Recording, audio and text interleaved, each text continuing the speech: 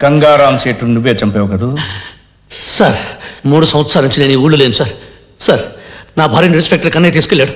వాడు అసలే మంచివాడు కాదు. పతివ్రత తప్పిపోయినట్టు మాట్లాడతావేరా? దాన్ని బ్రోతల్ హౌస్ నుంచే తీసుకొచ్చావట ఎందుకురా అంత కోపం? భార్యశీలం గురించి అంత బెంగ పెట్టుకున్న వాడివి మరో మనిషి ప్రాణం ఎలా తీయగలిగావు? నేను ఎవరి ప్రాణాలు తెలియదు సార్. మరెవరు చంపారు? నాకు తెలియదు సార్. తెలుసు నీకు తెలుసు. మహాత్ములు తెచ్చిన స్వాతంత్ర సామ్రాజ్యాన్ని ప్రజాప్రతినిధులు ప్రజాస్వామ్యబద్ధంగా ఏలుతుంటే మీరు చీకటి సామ్రాజ్యానికి అధిపతులై శాసిస్తున్నారా? పోలీస్ అధికారులంటే చేత్తో లాఠీ ఊపుకుంటూ నెత్తి మీద టోపీ ఒంటికి కాకి వేసుకునే పగటి వేషగాళ్ళు కాదు. ప్రజాస్వామ్యాన్ని కాపాడడానికి ప్రాణాలు ఇచ్చే వీర సైనికులు. ఎవరి ప్రాణాలు కాపాడుతున్నారు? ఉన్న వాళ్ళ ప్రాణాలు డబ్బున్న వాళ్ళ ప్రాణాలు అధికారంలో ఉన్న వాళ్ళ ప్రాణాలు. నేరం చేసిన మంత్రుల మీద లాఠీ ఎత్తడానికి మీకు దమ్ము లేదు. హత్యలు చేసే ప్రజానాయకుల్ని కటకటాల్లో పెట్టడానికి మీ కాకి ప్యాంట్లు పోతున్నాయి మీకు దొరికేది అది పేదవాళ్ళు కష్టపడి పుట కోసం వెతుక్కునే నిర్భాగ్యులు. వాళ్ళను మీ ఇనుపనాడాల బొట్ల కింద తుక్కేస్తున్నారు! ఖైదీల నోటి నుంచి భగవద్గీత వినాల్సిన కర్మ ఇండియన్ పోలీస్ ఆఫీసర్స్ పట్టలేదు. నువ్వు నిజం చెప్పకపోతే ఇక్కడే చస్తావు. చంపే. మీకు చేతనైంది ఇదే కదా. లాఠీలతో కొళ్ళబుడిచి చంపడం ఫ్యానుకు వేలాడదీసి ఉరేసుకుని చచ్చాడని పేపర్లో ఓ ప్రకటన ఇవ్వడం. చంపే. కానీ నేను బ్రతికుండగా నా భార్యకి బిడ్డకి ఏదైనా ప్రమాదం జరిగితే నీతో పాటు ఎవరిని బ్రతకనివ్వను? ప్రజానాయకుల్ని కటకటాల్లో పెట్టడానికి మీ కాకి ప్యాంట్లు పోతున్నాయి మీకు దొరికేది అది పేదవాళ్ళు. కష్టపడి పుట కోసం వెతుక్కునే నిర్భాగ్యులు. వాళ్ళను మీ నుపనాడాల బొట్ల కింద తుక్కేస్తున్నారు. ఖైదీల నోటి నుంచి భగవద్గీత వినాల్సిన కర్మ ఇండియన్ పోలీస్ ఆఫీసర్స్ పట్టలేదు. నువ్వు నిజం చెప్పకపోతే ఇక్కడే చస్తావు. చంపే మీకు చేతనైంది ఇదే కదా? లాఠీలతో కొళ్ళబుడిచి చంపడం ఫ్యానుకు వేలాడదీసి ఉరేసుకుని చచ్చాడని పేపర్లో ఓ ప్రకటన ఇవ్వడం. చంపే కానీ నేను బ్రతికుండగా నా భార్యకి బిడ్డకి ఏదైనా ప్రమాదం జరిగితే నీతో పాటు ఎవరిని బ్రతకనివ్వను?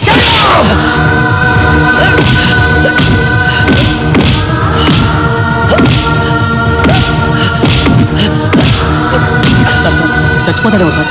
చస్తే ఉరికమ్మ ఎక్కుతాను కానీ వీడు వదలను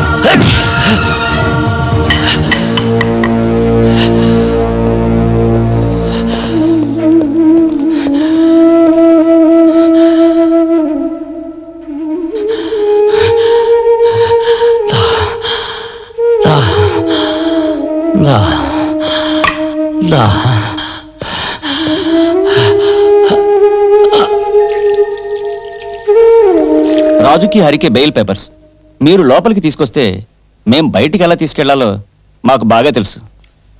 మీలాంటి లాయర్లు ఉండబట్టే రాస్కల్స్ అంతా రాజులా బతికేస్తున్నారు. వాడిని వదిలేయండి.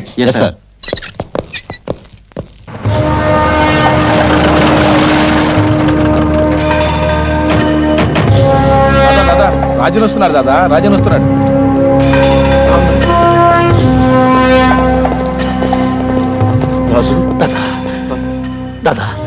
పాప రాజ్యం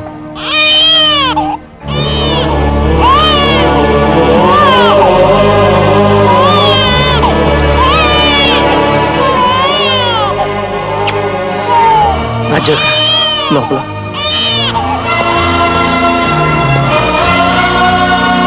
రాజ్యం.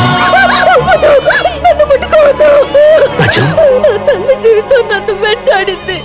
ఆవిడ అడుగు జాడల్లో నడవమని శాపం ఆ ఇన్స్పెక్టర్ కన్నయ్య గారు పోలీసులు కూడా రాజ్యాన్ని దారుణంగా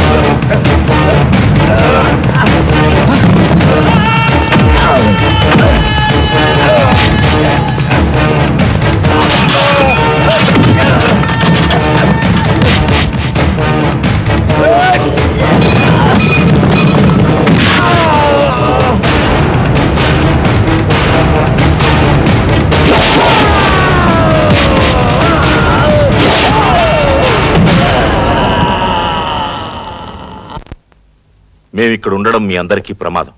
మళ్ళీ వస్తాం.